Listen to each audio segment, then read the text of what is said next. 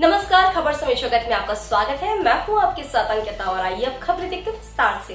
शिवपुरी बड़ी खबर शिवपुरी ज़िले के पौरी अनुविभाग अंतर्गत आने वाले बैराट पुलिस थाने में पदस्थ एसआई अरविंद सिंह चौहान का स्थानांतरण बैराट से खनियादाना होने पर सोमवार शाम करीब छह बजे थाने में कार्यरत पुलिस कर्मियों एवं नगर वासियों द्वारा विदाई समारोह रखा गया। हम आपको बता दें कि एसआई अरविंद सिंह चौहान का कार्यकाल बहुत ही शानदार रहा। गरीब से गरीब जनता की तत्काल सुनवाई करते हुए हर समस्या का समाधान किया गया। बैराट थाना क्षेत्र आने वाली जनता अरविंद सिंह चौहान की ड्यूटी से बहुत खुश और उन्हें पसंद करती है, क्योंकि उनके द्वारा बड़े से बड़े केसों का भी पारिवारिक हिसाब से समाधान कर देते हैं। कोई भी व्यक्ति अपनी समस्या लेकर जब थाने पहुँचता है तो अरविंद सिंह चौहान उसे अपने पारिवारिक सदस्य की तरह सम्मान पूर्वक समस्या सुनते और उसका समाधान भी करते थे। थाना प्रभारी नवीन यादव ने बताया की थाना में एसआई अरविंद चौहान का स्थानांतरण होने पर पुलिस प्रशासन द्वारा उनका विदाई समारोह, रखा गया विदाई समारोह में पुलिस प्रशासन के साथ साथ अन्य जनप्रतिनिधि एवं अन्य विभाग के अधिकारी व कर्मचारी उपस्थित थे। थाना प्रभारी ने कहा कि एसआई अरविंद चौहान ने यहाँ पर रहकर लोगों का मन जीता और लोगों की हर शिकायत को तुरंत सुनने पर आज लोग इन्हें याद करते हैं। इस अवसर पर पत्रकार गण एवं गणमान्य नागरिकों ने एसआई अरविंद सिंह चौहान को शॉल श्रीफल व माला पहनाकर स्वागत कर विदाई की। शिवपुरी ऐसी खबर समय जगत के लिए सतीश ठाकर की report.